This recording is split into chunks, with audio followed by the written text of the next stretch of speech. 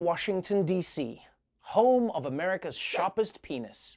Ever since metal detectors were installed outside the House of Representatives in the wake of the Capitol riots, Republicans have been causing a scene by trying to sneak past with their own guns.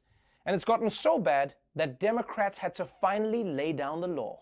Fines for House members who refuse to pass through new metal detectors. The $5,000 fine for a first offense and a $10,000 fine after that will be deducted straight from lawmakers' salaries. Every Republican present voted against this new rule proposed by Speaker Nancy Pelosi in the wake of the Capitol insurrection. Some Republicans, like Louis Gohmert of uh, Texas, Lauren Boebert of Colorado, and Andy Harris of Maryland, they have already tried to defy these new security screenings. Whew. You gotta admit, man, these Republicans have got some balls.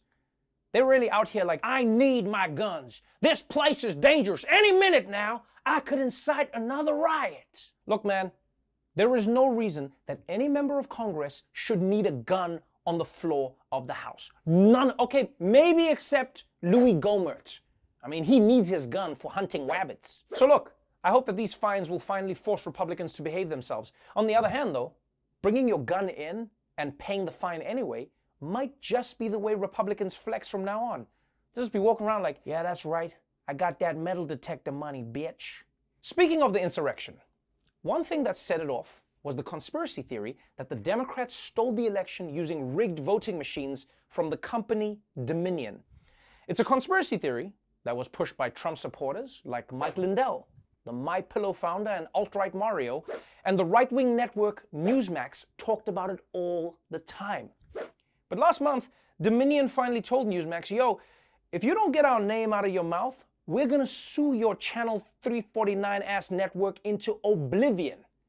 And based on what happened yesterday when Lindell tried to go back on Newsmax, the network is taking that threat seriously. We have all the election fraud with these Dominion machines. We have 100% proof.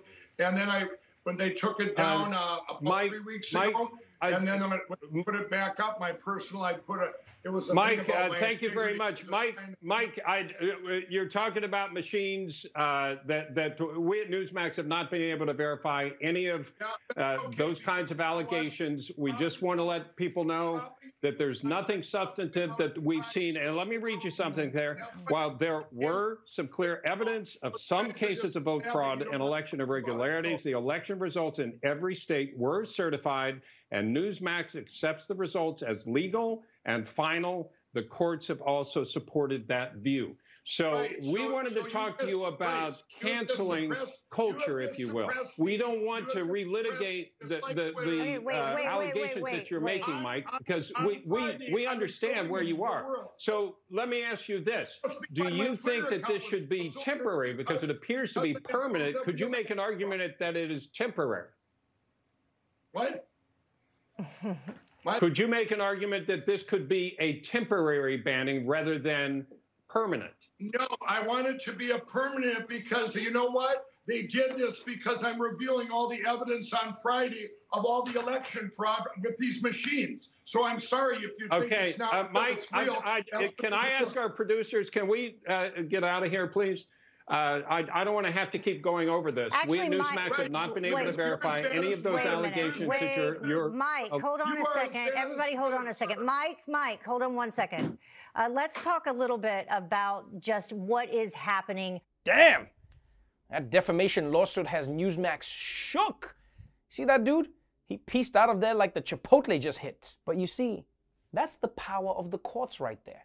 Because Mike Lindell tried to stage a coup, and Newsmax was fine with inviting him on. But the second he started saying shit that was gonna get them sued, all of a sudden they were like, "Bup, bup, bup, no, no, no, no, no, my man. Overthrowing the government is one thing, but a lawsuit, that shit's serious. And keep in mind, this is Newsmax we're talking about. Remember, Newsmax is like Fox News after it stopped taking its meds. But at least for a minute, Dominion managed to sue them into behaving like actual journalists. According to this statement from my lawyer, your, your facts are incorrect.